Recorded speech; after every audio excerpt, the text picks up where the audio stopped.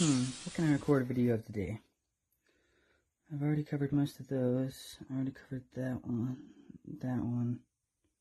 Yep, done that one. I haven't read that one yet. Hmm. I've recorded those.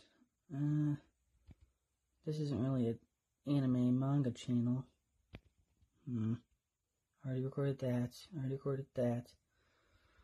Wait a second. I've got it.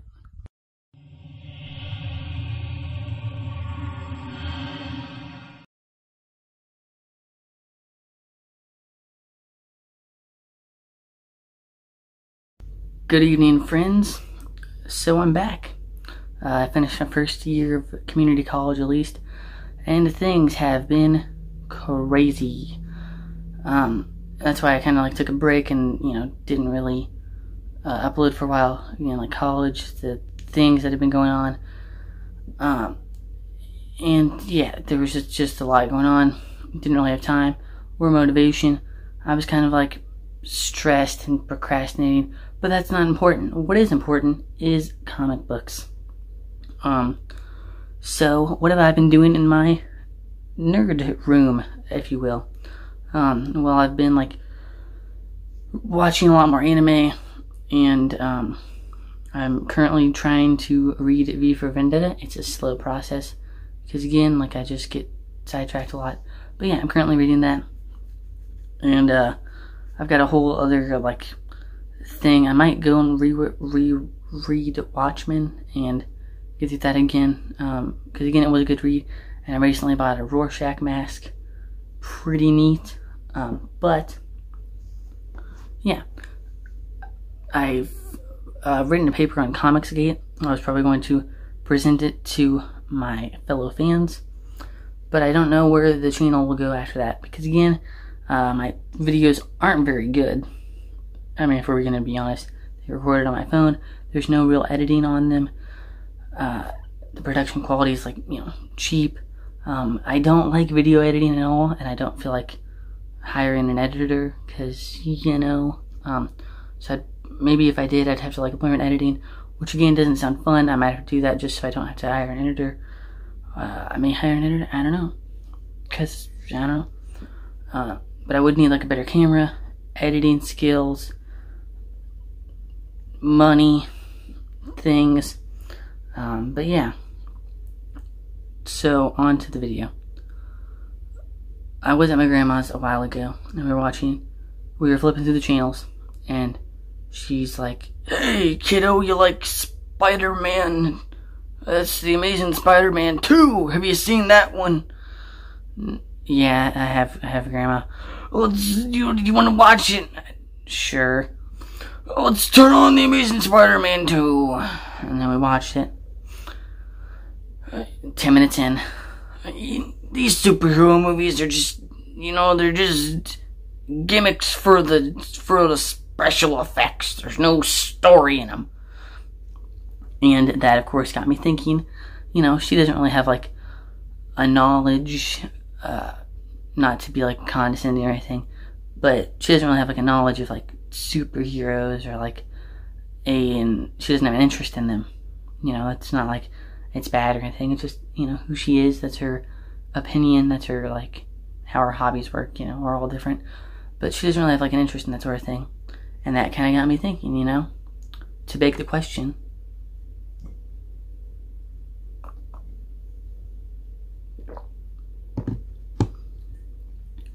You know, why do people judge superheroes and things when they don't have like an understanding of them per se? Like, and again, with movies, it's really weird because the average person isn't going to read a comic book. And I've heard, I've read multiple sources that say, like, from like comic shop owners, would say, like, oh, movies are great for business. They really bring in a crowd. And then some people are like, no, movies don't really do anything to help us. So, I mean, it is kind of conflicting. Granted, those are like two different sources and everything. So it's like, I guess it depends on where you live, probably. Um, and again, like I don't really like live near a comic shop. Um, I think there's one like 30 minutes away. I don't really go to it because of like, you know, I don't like driving and stuff. And That's anyway. But uh, I do mostly like uh, if I do, I go on Free Comic Book Day, which has been canceled. Fun fact. Um, and I go to Amazon basically, but I go like on Free Comic Book Day, and maybe if I'm lucky, I go to like a convention and I pick up a big assortment.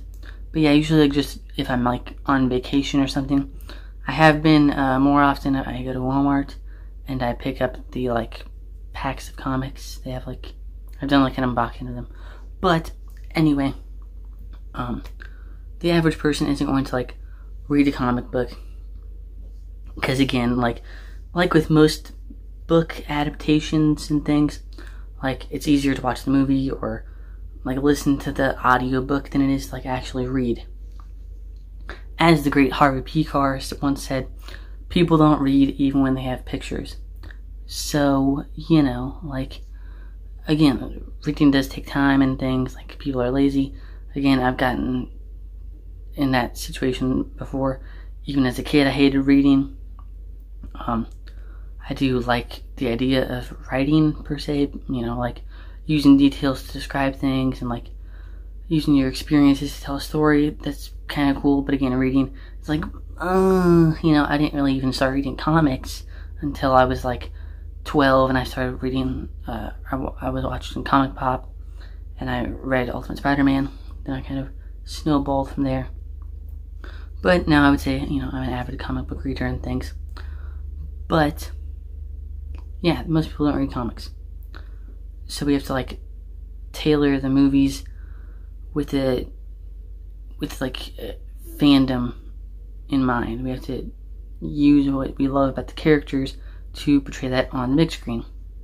And I would say, you know, to some degree, people have been good at that. Um, you could argue about the Sam Raimi, Sam Raimi movies, but I would say that they are pretty good. You know, some people think that like it's outdated and things, but I mean, like you know, he tried. Sam Raimi had like a he used his own movie style and his love for Spider-Man to make a Spider-Man movie, which is what you know, the job called for.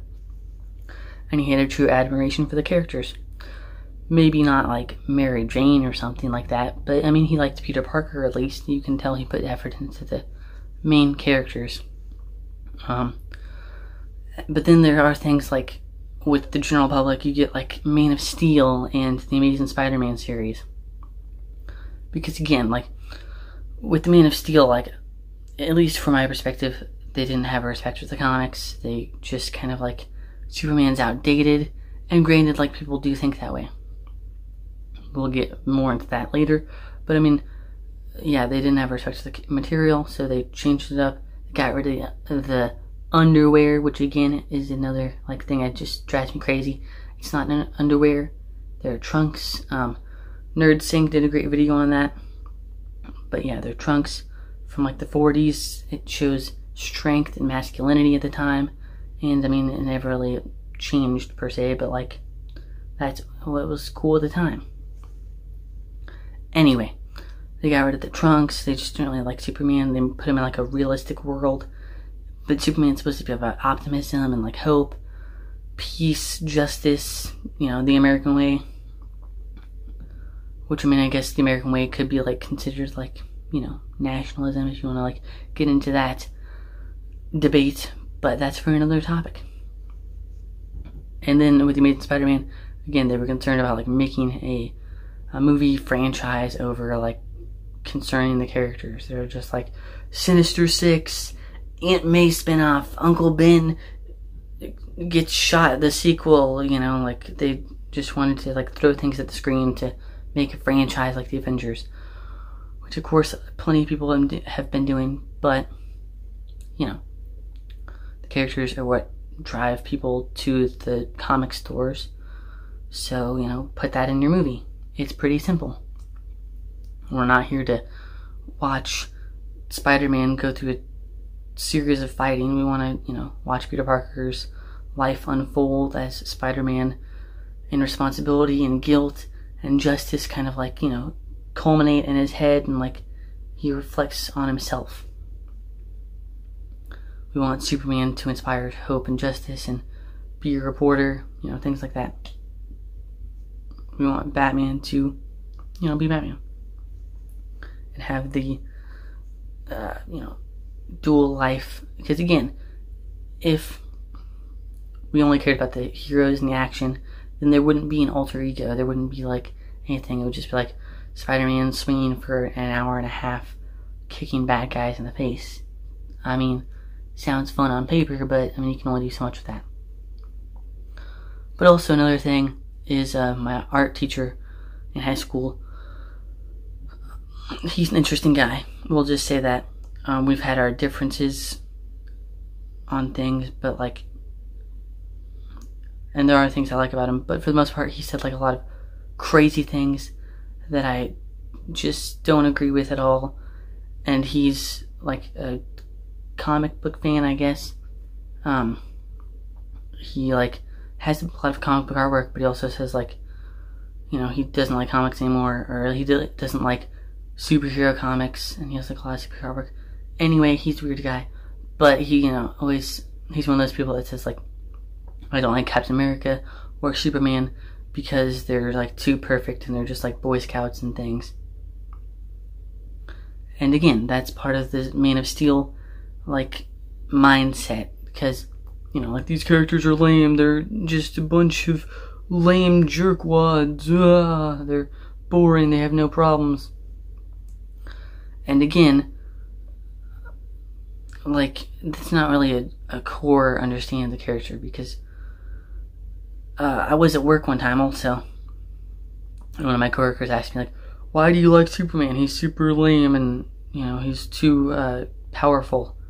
I'm like, you know, it gives me something to aspire to. You know, he has hope and justice. Like, if he can have all the power in the world, which granted it's been downgraded since like the 70s, um, if he has like all that power, he can shoot lasers from his eyes and he still does the right thing. He does what he thinks is right.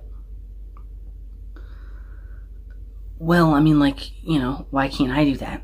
I have no powers. I can still make the right decision means the same like Captain America, you know, like from Avengers Endgame, like whatever it takes, that kind of mindset. Superheroes are, you know, uh, as commonly said by people better than me, like they're the Greek myths of our time, sort of. I believe like Kevin Smith said that probably. But yeah, they give us something to aspire to. They give us hope and peace and justice. They give us a, a mindset that doesn't like, you know, because if we didn't have superheroes, we would probably just like be crazy. I mean, that's probably an oversimplification. I'm sure we would find something else to relate to, but I mean, you know, we like them because they aspire. We aspire to be like them.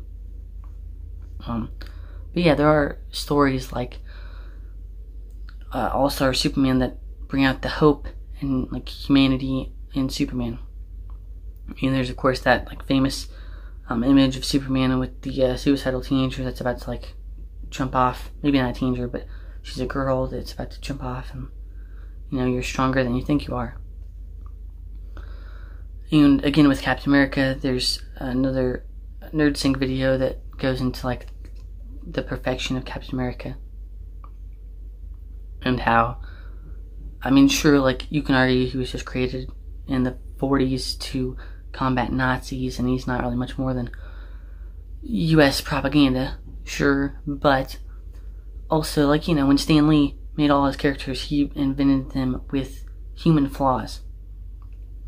All of them have crazy flaws, you know.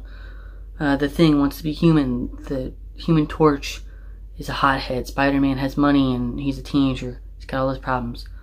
Iron Man has heart problems the Hulk has anger issues and he tries to deal with the morality of his half, you know, monster self.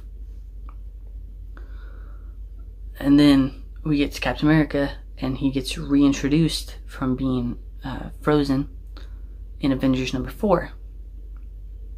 So Stan Lee has to come up with something that does with the like Marvel age with his writing style, the Marvel age of superheroes and how he deals with them so how do you do that? Well, you take Bucky And since he's dead, you make Captain America feel guilty and you give him guilt.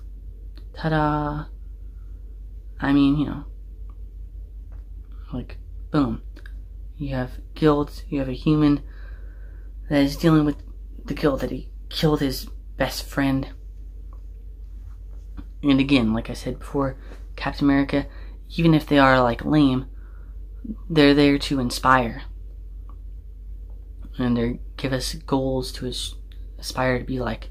That's the main thing with Batman. Is like, sure, Batman's perfect, pretty much. I mean, like, there's always the like. I feel like it's probably died down a little bit, but there's always like the common joke, like he can do anything because he's Batman. Like, he's probably overly perfect, but it gives us something to strive towards because all he has is money and his mind and his body. He just trains, and bam, you have a superhero.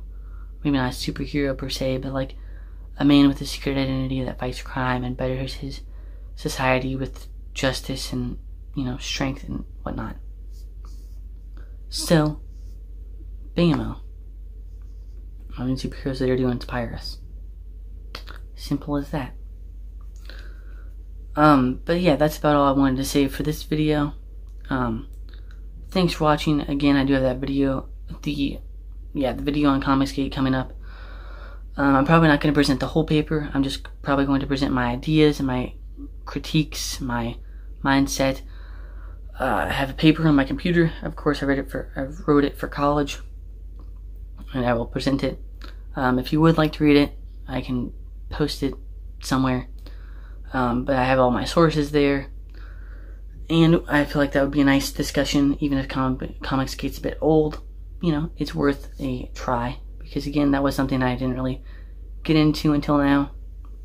Um, I had to write about like a, a dialogue, a problem like with like something that had a black and a white issue kind of. So I thought, what a better, what better idea to do than that. Um,